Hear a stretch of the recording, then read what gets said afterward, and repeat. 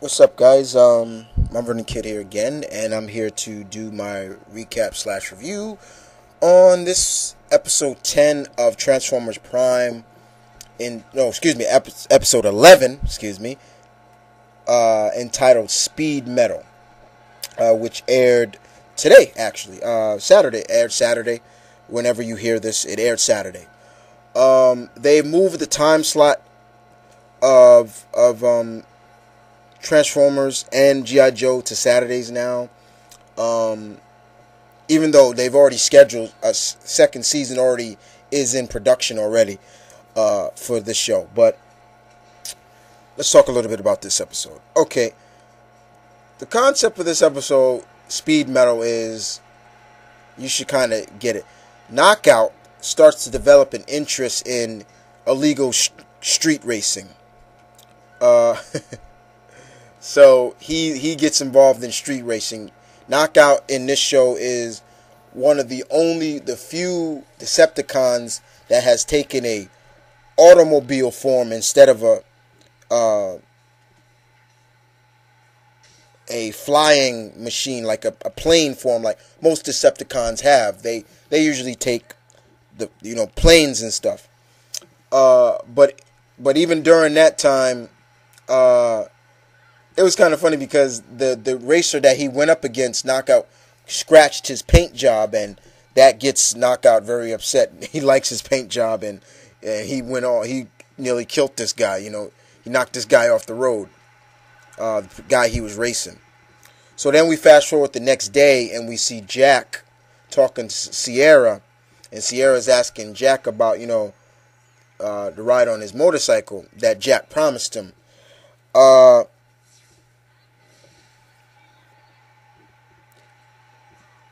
even though Jack tells you know Sierra it's not the time right now, you know we we are introduced to Vince, and Vince is like this.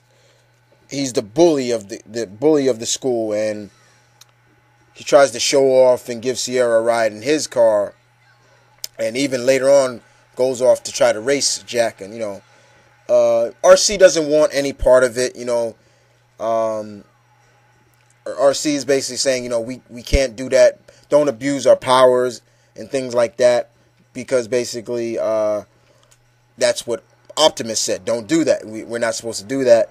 However, once Vince catches back up to Jack and Arcee, uh, he he he uh, he talks about how ugly Arcee looks, and that gets Arcee angry, you know. Uh, and so she tells Jack, you know, tell Vince it's on. You know, it's on. We're we're going to race this guy. And, you know, later on that day, we see Vince and Jack going at it. Uh, Jack and Arcee event basically win. You know, it was, it was, no contest. And the next day, we see uh, Vince asking Jack to race again, basically saying it was a fluke win. You got lucky. You know, Jack doesn't want to, but he eventually takes. You know, he it, this episode is more about peer pressure once again, uh, which is cool. I got no problem with that. And uh, uh, Vince and Jack go to race. Uh, this time, but while at the uh, while Arcee was at the the the Autobot base, basically that's where Miko and Raf and everybody is. That everybody knows that you know at school that you had a race with Vince, and uh, that's when Vince you know basically axes him again. However, you know uh, Jack asks Raf to borrow Bumblebee to use in a race. Uh, so that night they race again when uh, Jack base. I mean, when Vince sees Jack, uh, he's like, "The bike's in the shop now." you know, because he sees him with uh, Bumblebee, and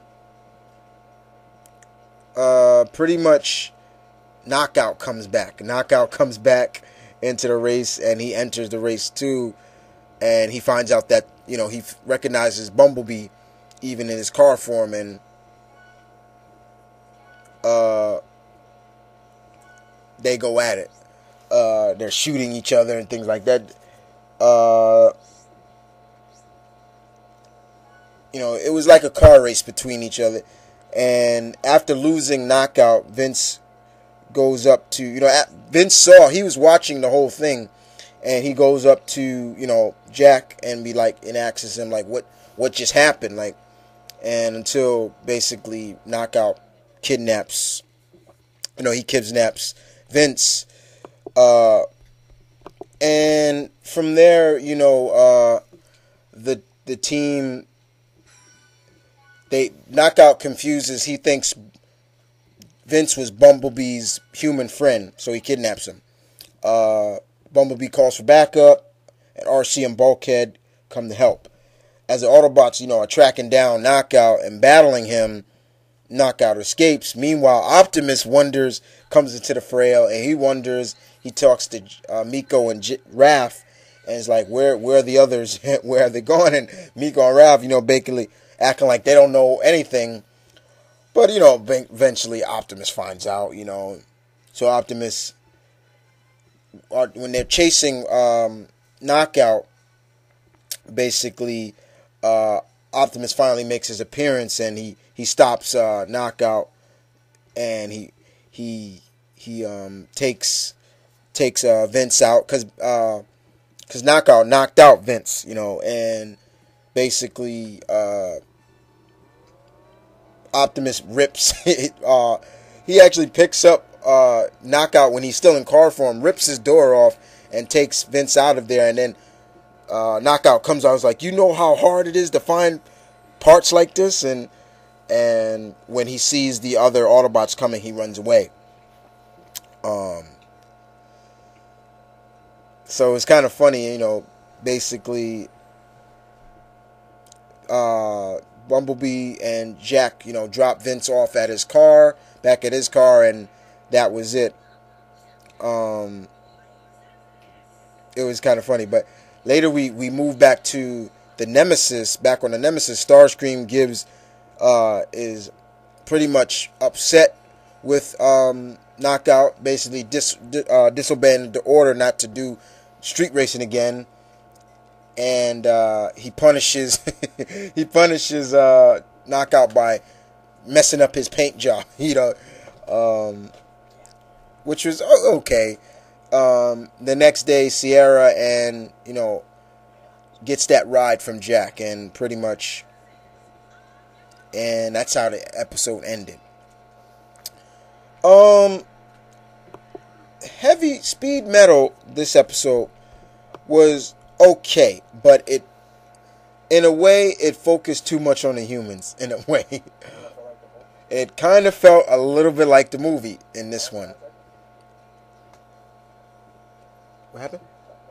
Okay, yeah, like, like I'm sorry, uh, people. I was talking to my brother. Yeah, like my brother just said, it felt more like the the the movie.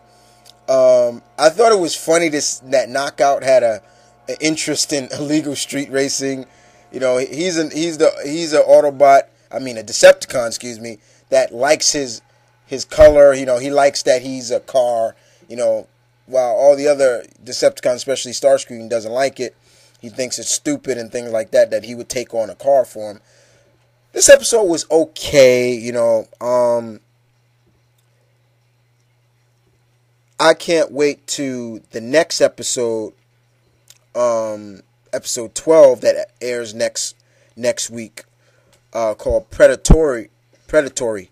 So I can't wait to that because this looks good because it looks like it looks like this episode is going to be focused more on Arcee and just going to be a spotlight of Arcee in this one. So this one looks good. Um, but for all those that still are watching Transformers Prime, tell me what you thought of this episode. Mainly, I'm looking for. I know my my boy Nako Base still watches this. So uh, I, would like to hear what he has to he thought about this episode. Uh, slash Slasher Khan, another guy I know that st- still watches this. So I'm looking for input from them too, most definitely. But uh, anybody else, feel free to leave what you thought about this episode. Uh, in my opinion, it was okay. It felt too much like the movie. Uh, I when it focuses too much on the humans, then I'm not really liking that. It's, my opinion is have a balance, but focus more on who the stars of the show is about. What is this show called? Transformers, not Human Formers. You know, from time to time, do it, yes, but this was too much, a little too much in my opinion. And Optimus only showed up like in one scene. I I I can't deal with that too much. But he shined in that scene though, so I'm not gonna lie. Okay. But uh, other than that, guys, you know, tell me what you thought. This is Mount Vernon Kid signing off. Take care.